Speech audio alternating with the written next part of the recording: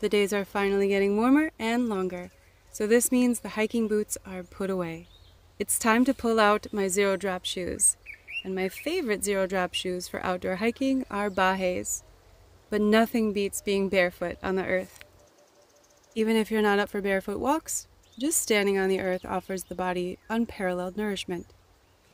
Being bare skinned on the ground has an effect on us earth folks, akin to a long hug from a cherished loved one a good night's rest, or engaging in activities that fulfills the soul.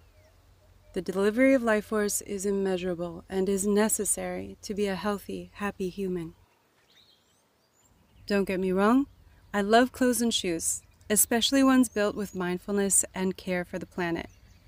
But I don't think I'm wrong when I say, aren't we all looking forward to the moment in our day when we get to take it all off anyway? Thanks for taking a walk with me today.